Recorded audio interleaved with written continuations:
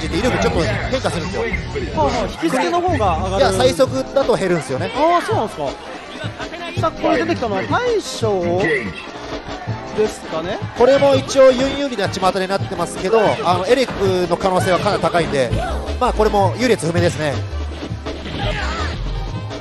さあツッチーユン対ニクネクロですね。いや本当ユンが接触したら終わりですからニクネクロのいるチームは野獣先輩というチームでこれは東北勢ですね。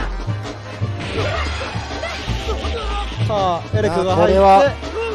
まあネクラップもたまには投げられますから。さあエレクトリックスネークは当たった後の有利フレームはかなり大きいんでえ安定していろいろな種類の置き攻めを仕掛けられるっていういい技ですよね。えいいですよね。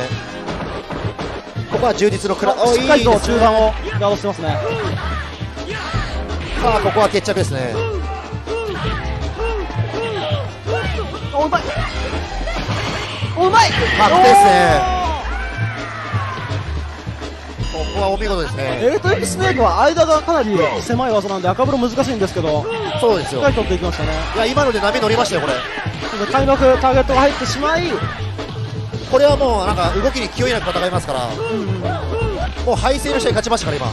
そうですね。ネクロ側もゲージが1本まだないんで、ええ。一発食らっても次で終わりとはなりませんからね。さあこれはかなり有有利な状況ですね。さあここで中肘で割り込んで。ここはやっぱ後ろ競技勝てないとダメですねこれはね、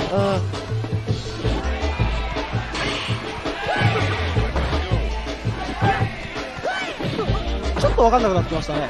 うん、分かんないですね。あ今一回パース落ちたかったかもしれない。あっとゲージでやり合いますかこれは。あー勝負に来ましたね。あ今の体力差だったら、はい。あのバックジャン遠距離でしたユに対してパース1回打っといてうん。エリックの火力上げたら勝てるんじゃないですかね。あー確かにそれで次バックジャンプ大パンとか打ったところで